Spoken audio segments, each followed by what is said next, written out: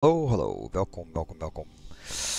Zoals eerder aangekondigd, ik ga wat driver impressions doen vanaf alle auto's die er zitten in Assetto Corsa Competizione, de GT3's en de GT4's. En de eerste die ik ga doen is de Lexus RCF GT3.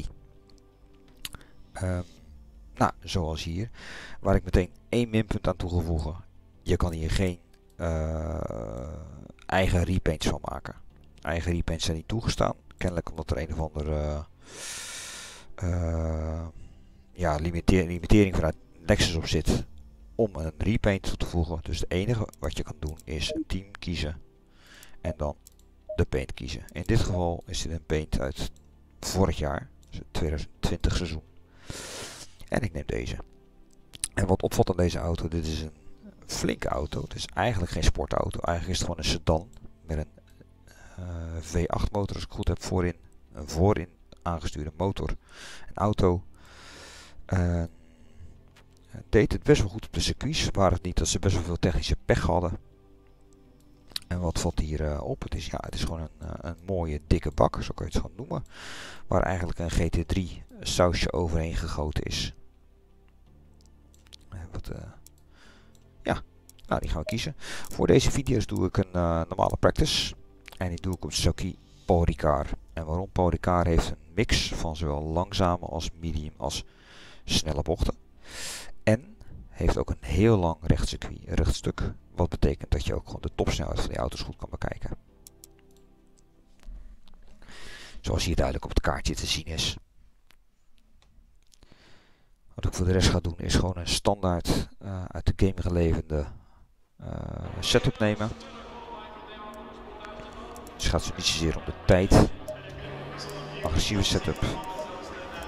En ik voeg er wel terug naar 30 liter. En waar ik ook naar ga kijken is naar de steer ratio. Want mijn eigen voorkeur ligt op een steer ratio van 15. Wat zoiets betekent 1, slag 1 graad uitslag op je stuur betekent 15 graden op je voorwielen. Sommige auto's hebben wat minder, sommige wat meer. Dat zegt dus wat over de wendbaarheid en in mijn stuurtje. Uh, en setup vind ik het fijn om een steer ratio van 15 te hebben. Dat is alles. Voor de rest verander ik niks.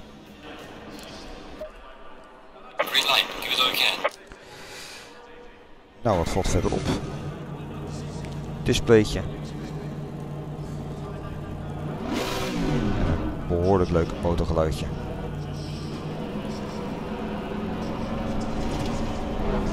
Eerst even rustig beginnen.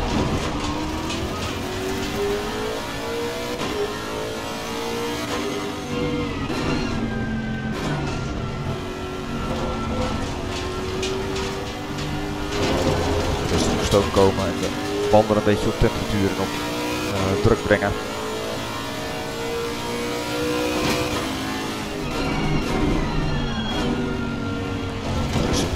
kennen. Langzame bocht hier, een langzame combinatie. Hier een hele langzame combinatie. Een beetje inhouden. Dan gaan we hier vol gas door.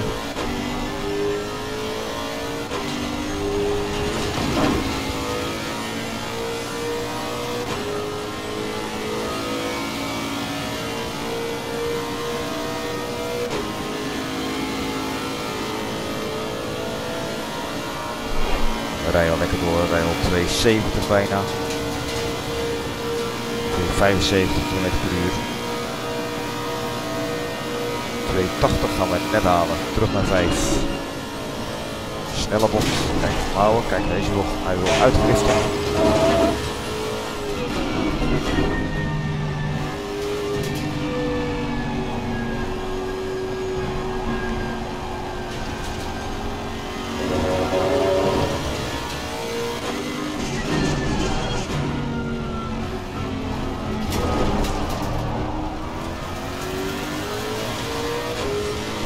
Karakter van een auto met de motor voorin. Dat betekent hij wil een beetje ondersturen als je de bocht ingaat. Hij is redelijk stabiel in de bocht. Als je eruit wil komen heeft hij niet de neiging om te oversturen. Klein beetje onderstuur. Maar dat is eigenlijk makkelijk te counteren met hoe je met je gas en je, en je rem omgaat.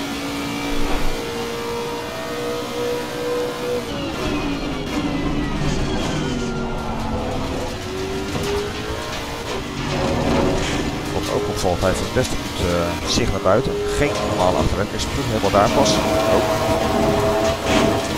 Lol, dit doen. Hij laat zich heel makkelijk hanteren. Dat was echt onderstuur als je echt te hard de bocht in gaat. Een beetje trailbreken dwing je hem ook. Een beetje remmen in de bocht, zodat uh, het gewicht van de auto op de voorwielen zit.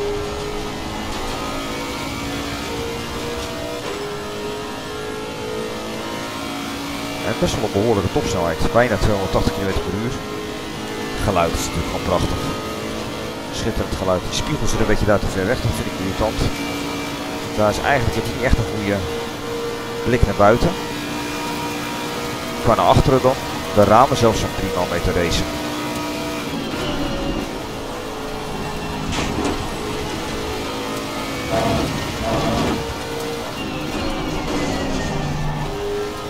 Makkelijk insturen.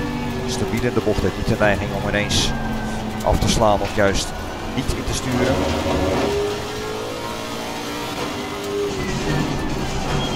Dat maakt er ook in mijn ogen een hele goede auto voor beginners. Hij is niet zenuwachtig zeg maar in deze setup. Hè? Kan je wat veranderen in setup om het gedrag van je auto meer naar je eigen hand te zetten.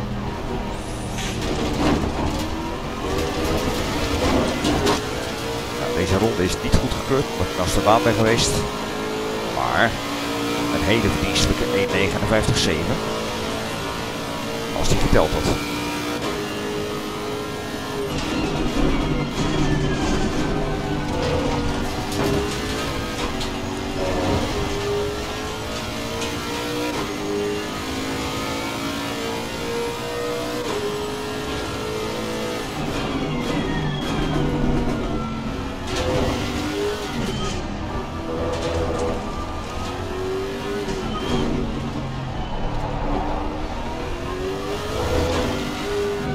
Gedraagt zich heel fijn. Hij, hij heeft niet het idee om uh, te eerder op mijn gas gaan, stuur te ver dat ik een, uh, een overstuursituatie krijg.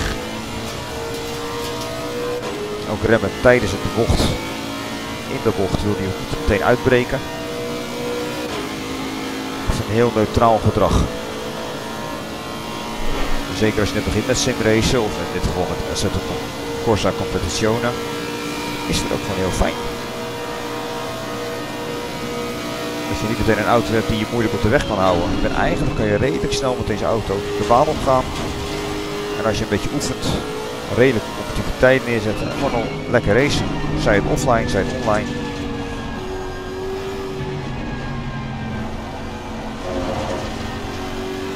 Heel mooi stabiel overal doorheen.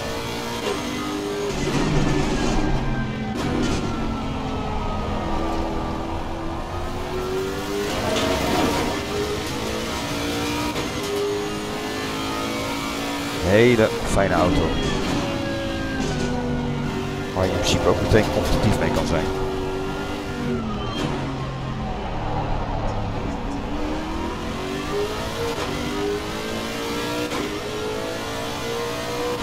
Zelf een, uh, zeker niet de snelste rijder. Wel dan mee, dat is best. Ik kan mezelf doorgaans aardig redden.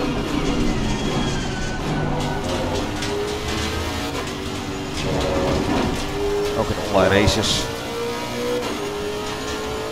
Maar ik zit zeker niet in de buurt van de toptijden. Die mensen online laten zien.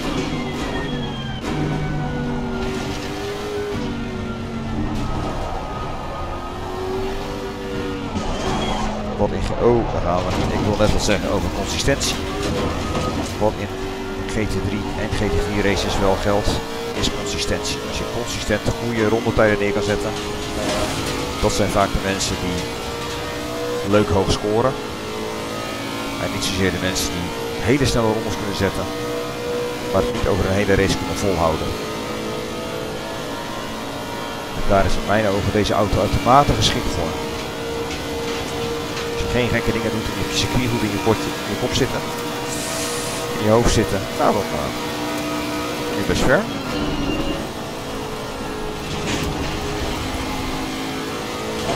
hoor motorgeluid is.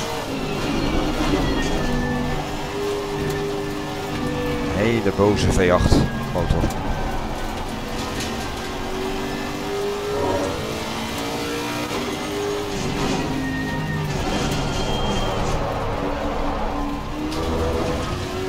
Ik rem nu opzettelijk iets te laat in de bocht. En dan zie je dat hij gaat slippen. Je hoort ook dat hij gaat slippen. Maar je bent hem nooit echt kwijt. En weer doen. Heel gemoedelijk allemaal.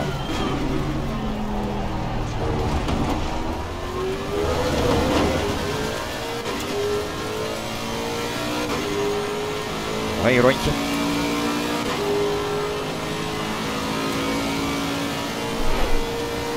Vol over de straight.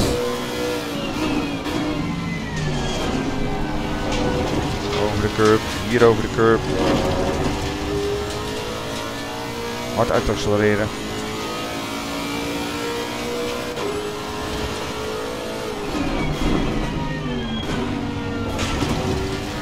Vanaf hier wordt het langzaam. Tot heel langzaam.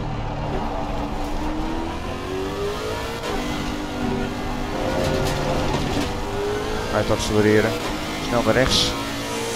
Hier over de curb heen.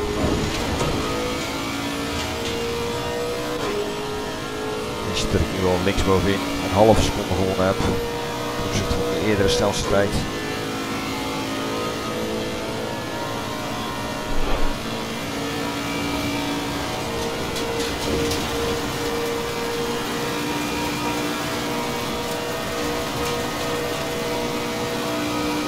Terug naar 5. Even laten rollen. En we grip hebben, uit. Buiten de paaltjes blijven. Terug naar 3. Een beetje laten rollen, een beetje remmen. We gaan langzaam knijpen de bocht. Kan terug naar 2 gaan, maar meestal hou ik gewoon naar 3. En gaan ze door.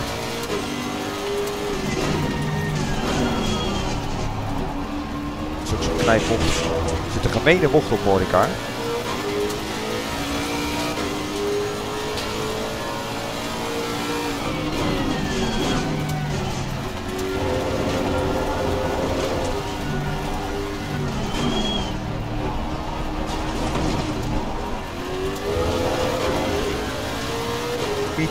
Laat uit accelereren, maar nog steeds een hele mooie tijd.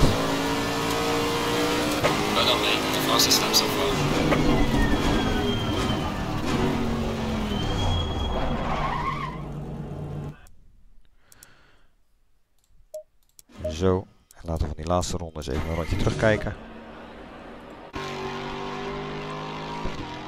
Ook van buiten. Heel mooi geluid.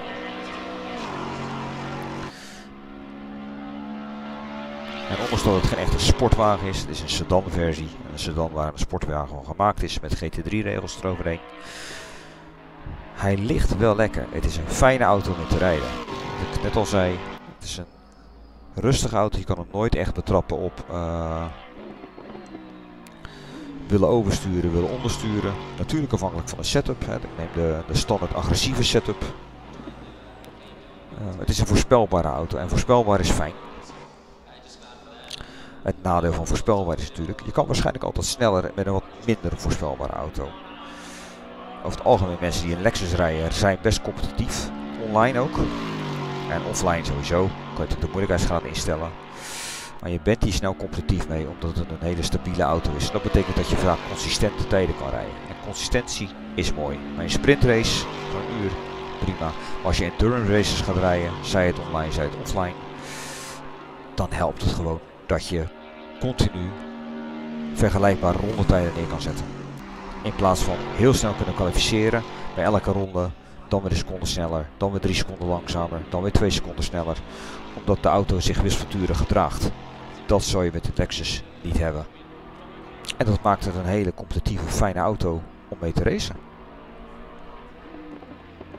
En hij ziet er nog mooi uit ook. Nou.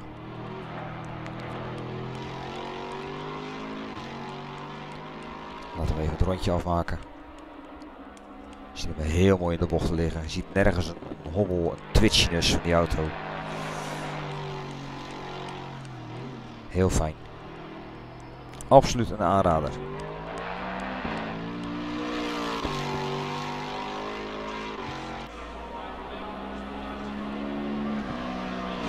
dit was de driver impressie van mijn zijde. En natuurlijk is dit ook maar een mening, ook maar een opinie. Van de Lexus RCF GT3 en Apetto Corsa Competizione. Dankjewel voor het kijken.